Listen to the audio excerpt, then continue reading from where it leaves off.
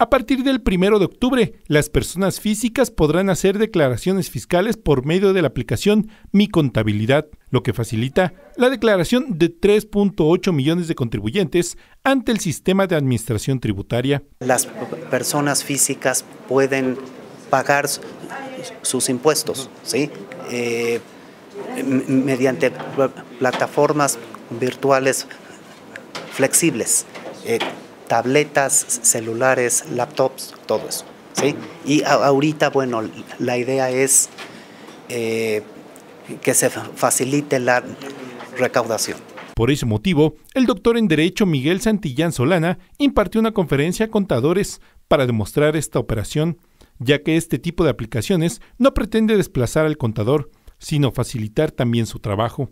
Además dio a conocer que el delito en el que incurren las empresas que emiten un comprobante fiscal digital por Internet que carece de activos para ofrecer un bien o servicio. Cada quien por su parte pueda documentar la materialidad de la operación como tal. ¿Sí? ¿Con qué eh, frecuencia se llegan a detectar?